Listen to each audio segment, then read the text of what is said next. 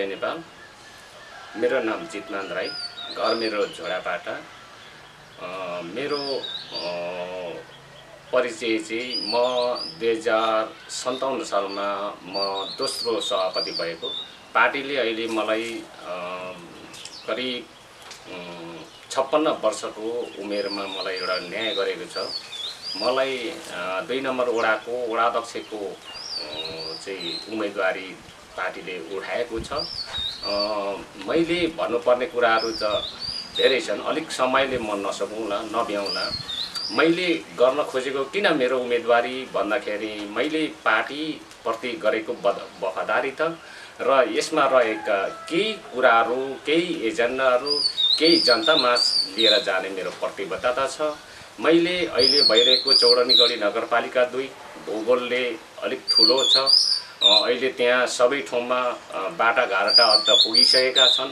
भए पनि त्यसलाई व्यवस्थित गर्न त्यसलाई राम्रो तरिकाले ल्याउन र कति ठाउँमा यसलाई चाहिँ व्यवस्थापन गर्न मेरो एउटा प्रतिबद्धता। दोस्रो बिजुलीको समस्या छ जहाँ मान्छेले डेढ दुई किलोमिटरसम्म पनि पोल नपाएर कालो तारमा ल्याएको छन्। त्यसलाई सेतो तार र त्यसलाई पोल लगाएर व्यवस्थित गर्ने मेरो प्रतिबद्धता अब खानेपानीको समस्या झोडापाटा अवश्य पनि दुई नम्बर वडा दुईवटा केन्द्र हो। तलतिर तपाईँको चाहिँ के छ भनेदेखि त्यहाँ कवैदेवी चाहिँ एउटा सेन्टर र माडिबासमा सिंहदेवी सेन्टर परेको हुनाले सिंहदेवीमा को सेन्टरमा माडिबास गङ्गटी भित्ते यी सबै टोलहरू चाहिँ पानीको समस्या भएको हुनाले पानीलाई अधिकतम मान्छेले पहिला भने गरेका छन् एक गिलास पानी दिँदाखेरि धर्म हुन्छ भनेछन् त्यस्तै यो धर्मको प्रयोग गरेर मैले पानी पिलाउने छु। मेरो प्रतिबद्धता यो पनि हुनेछ। अब तेस्रो मैले गर्न खोजेको कृषि।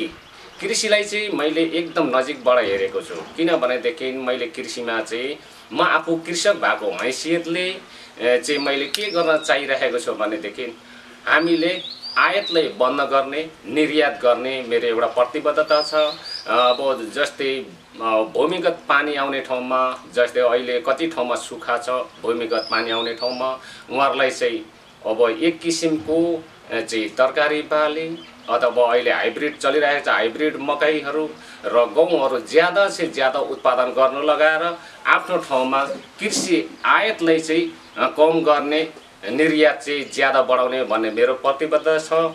र यसलाई चाहिँ निर्णय दिनको लागि के छ भनेदेखि पानी स्रोत भएको ठाउँमा पानीलाई व्यवस्थित गर्ने र पानी नभएको ठाउँमा भूमिगत प्रयोग गर्ने मेरो चाहिँ यो चाहिँ प्रतिबद्धता हो।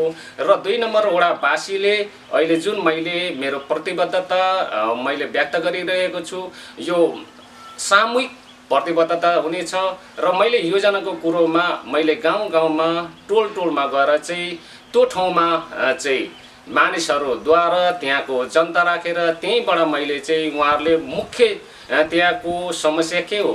के हुनेछ भनेर जनतामाझ लिएर गएपछि उहाँ त्यहाँका जनताहरूले हाम्रो सामूहिक समस्या यो हो।